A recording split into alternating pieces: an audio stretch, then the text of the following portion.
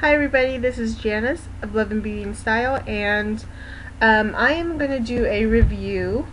Um, this review is requested by Pinky Chick 9627 and they're over the Fox in the Box uh, blushes that came out probably about a month or two ago. Um, I'm gonna I'll show you the blushes for uh, at first. Um, the first one is Skinny Dipping and it looks like that. And skinny dipping is on my pinky. That is the swatch. Um, I'll put it right here. The next one is in the pink box and it is Truth or Dare.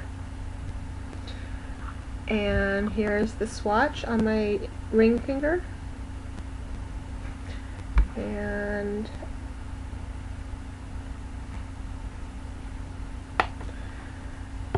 the next one is Smooth Talker. And it looks like that.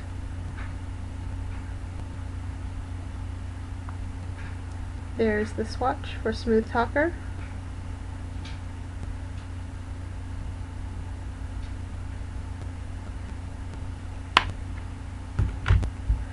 This one is spice, uh, spicy and sweet. And it looks like that. It's on my pinky finger. And I'll put it right there.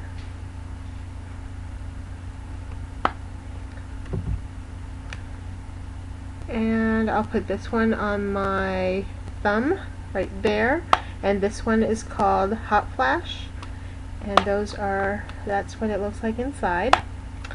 And I'll put that one right here. Yeah. Okay um, as you can see from the swatches um, are they pigmented? Not really. Um, they're fairly light um, even on the cheek. Um, they're pretty light.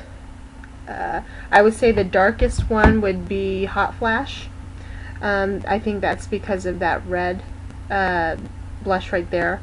Um, so if you're looking for a darker one, um, Hot Flash is right there.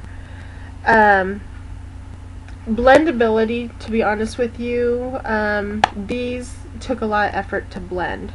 Uh, I just, you know, I just don't have the time in the mornings to sit there with a kabuki brush and just keep on blending till I get it just perfect. So, um, blendability for uh, pigmentation, not not very good for these products.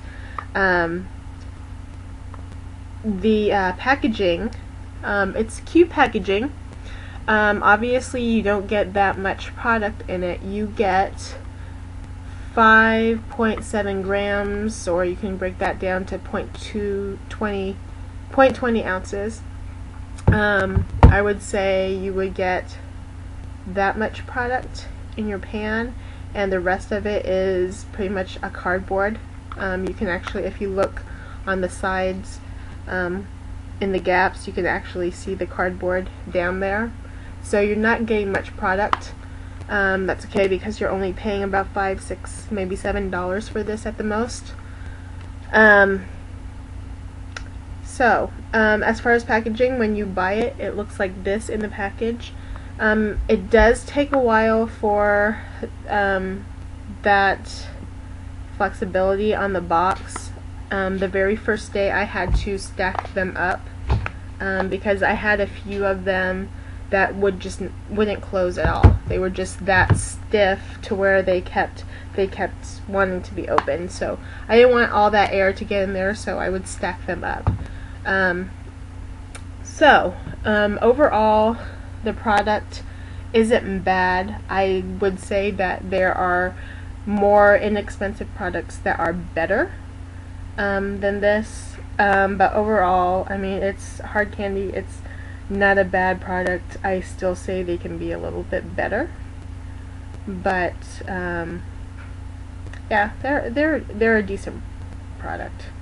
I'd say they're okay. I would give them maybe a uh, I don't want to be too. I, I would say a seven out of ten. I wouldn't give it anything lower than that, but they're a decent product. But anyway, um, I hope you liked the review. Um, some of you may disagree. Some of, of you may love the hard candy blushes. Um, I'm not saying it's a bad product. I'm saying it's a decent product. Um, but I've seen better and even less expensive. So anyway, um, please rate, comment, and subscribe. I'm gonna go watch some uh, YouTube videos and then go to bed. So I'll see you later. Bye.